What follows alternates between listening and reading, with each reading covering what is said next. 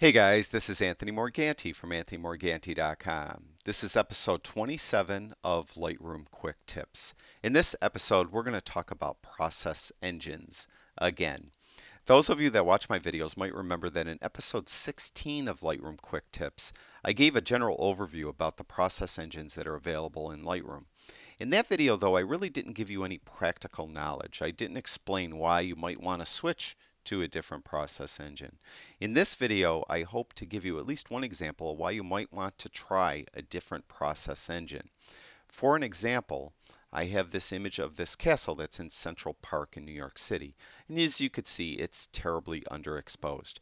And what I did was I made a virtual copy. So right next to it, I have the exact same image.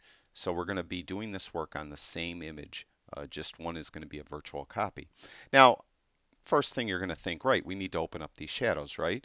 So we'll go to the basic panel and we'll go down to the shadows tab or slider I should say and we'll move that to the right.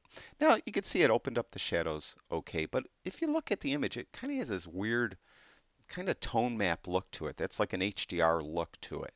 And it wasn't an HDR shot. I shot it with a Fuji X-T1 camera. It was one 2200th of a second at f11 ISO 200 with a 23 millimeter lens. Just a single shot. So you can see it, it just has this kind of odd look to it. What a lot of professional photographers do, if they have an image where they have really, um, you know, shadows that are just so dark, they'll try a different process engine. And we're going to do that on this virtual copy. So we're going to close the basic panel. We're going to go down here to camera calibration. Now those of you that didn't see episode 16, the process engine's right here where it says process. And you can see there's three different ones, 2012, 2010, and 2003. What this is, is over the years, Lightroom has changed the algorithms that are used to uh, process your image, your images, your image whatever. They've changed these algorithms. So they've updated the process engine over these uh, years.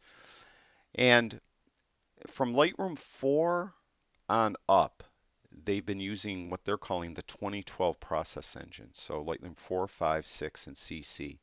Prior to that, they've used either of the other two. I know in Lightroom 3, they used the 2010 process engine. So we're going to use that. We're going to click on that. And right away, you can see the image got darker. So we're going the opposite way. You look at the 2012, then we go to 2010, and you can see it got darker.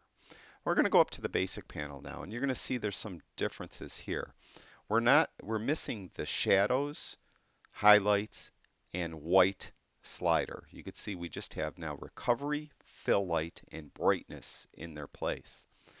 Now, for this image, we need some fill light. We have to fill in all this dark area here. So we're going to take the fill light slider and move it all the way to the right. Now, if you look at the image and then we compare it to the prior image, you can see how this looks flatter and it has that, I'm going to call it that HDR tone to it. This one looks to me a little more realistic. Now I admit this is subjective. I like it better. You might not. You might prefer this one. But what I would encourage you to do, if you have an image that has very dark shadows, you made a mistake and you, you terribly underexposed the image, and the typical 2012 uh, current uh, engine that's in Lightroom isn't cutting it, try a different uh, process engine and see if uh, you get better or at least more pleasing results. Now in this case with this image, uh, we were walking around Central Park. I had two of my sons with me. They're right here. And since I am a photographer and always have a camera, they hate it. They hate me taking their picture. And if I ask them to stand in front of the castle, they just moan and groan and, you know, typical boys, right? So I tried to steal a picture. I was taking pictures somewhere else and I came around and uh, they were standing here and I just took a quick shot and I, you know, just terribly messed up the shot. It was terribly underexposed.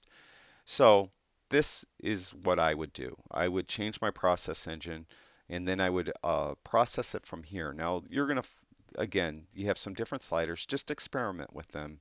Uh, you're going to see the blacks in this image I wouldn't want to mess with. It's going to make everything darker.